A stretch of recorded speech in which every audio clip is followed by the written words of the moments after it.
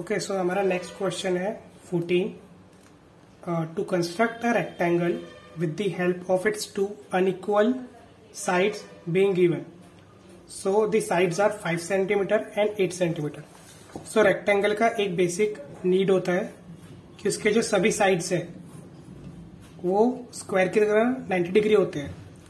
लेकिन उसके जो दो मीन्स एक साइड रहता है, वो हमेशा उससे डिफरेंट रहता है. जैसे, ये अगर ये है तो ये भी ए रहेगा. ये अगर बी है तो ये भी बी रहेगा ठीक है? तो हमें क्वेश्चन नंबर फोर्टीन के लिए वही करना है।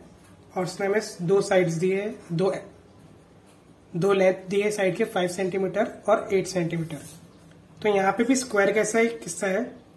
सिर्फ़ थोड़ा सा चेंज आएगा इसमें। ये कि पहले हमको लेंथ लेना है तो लेंथ हम बड़ी लेंथ ले लेते हैं एट सेंटीमीटर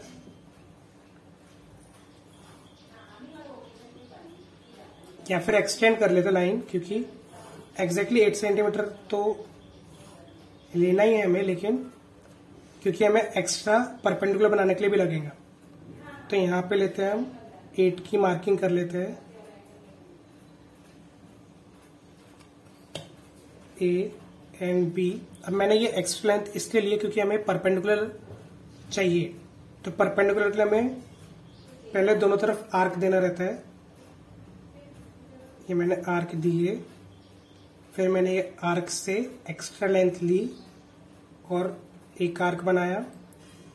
फिर दूसरे कटिंग आर्क से मैंने क्रॉस्ड आर्क बनाया, ठीक है? और मैंने यहाँ से एक स्ट्रेट लाइन वो क्रॉस को करते हुए एक्सटेंड कर अभी मेरे को ये नहीं पता है कि फोर सेंटीमीटर कितना होगा तो मैंने अंदाजे से एग्जैक्टली जितना ऊपर जा सकते उतना ऊपर लिया। सेम थिंग मैं बी के साथ भी करूँगा। कटिंग आर्क दोनों तरफ़। फिर एक लेंथ जो मोर देन हाफ़ रहेंगी। एक आर्क फिर उसका क्रॉस डार्क अब क्रॉस डार्क मिल है। और इसका मैं, इसको मैं एक्सटेंड कर दू। ठीक है? अब जैसे स्क्वायर में कैसा था कि हम साइड से ही लेंथ लेके उसको कट कर देते थे लेकिन रेक्टेंगल में ऐसा नहीं कर सकते तो हमें स्केल से ही मेज़रमेंट लेना पड़ेगा। तो ये फाइव सेंटीमीटर लेंगे हम स्केल के थ्रू फाइव सेंटीमीटर के मेरे को फाइव सेंटीमीटर मिल गया अब मैं पॉइंट बी से एक कट लूँगा और सेम पॉइंट ए से एक कट लूँगा, ठीक है? अब ये मेरा डिस्टेंस फाइव फाइव हो चुका है दोनों तरफ़ और अब मैं ये दोनों पॉइंट को ज्वाइंट कर दूँगा, ठीक है? अब रेक्टेंगल में कह रहा था कि अगर ये एट है तो ये भी एट रहेगा तो इसको एट चेक कर लेते हैं। ये एग्जैक्टली एट है मतलब हमारा परपेंडिकुलर बहुत सही था। परपेंडिकुलर सिंबल दे देते हैं। और सेकंड चीज़ हमको जो चेक करनी है कि ये एंगल्स जो है वो 90 डिग्री है कि नहीं। ओके ये भी 90 डिग्री है।